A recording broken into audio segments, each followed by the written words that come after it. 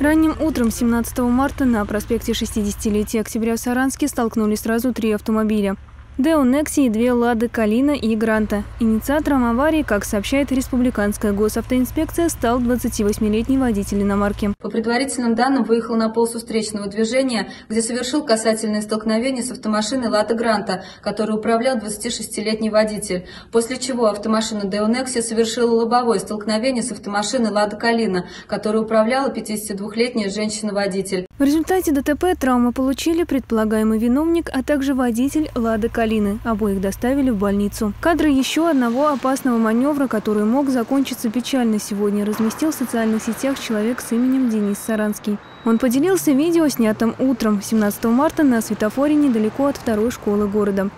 Сейчас внимание. Товарищ прилетает зигзагом на красный свет, э, стоящий в двух полосах движения машины. Рядом детская поликлиника, школа. Дальше этот товарищ едет абсолютно нормальной скоростью. В поисках справедливости автор направил отснятый материал в ГИБДД. Кстати, минувшие сутки, 16 марта, на дорогах Мордовии обошлось без серьезных ДТП. В них никто не пострадал. Регистрировались лишь аварии с ущербом для автомобилей. Анастасия Семышева, программа «Происшествия».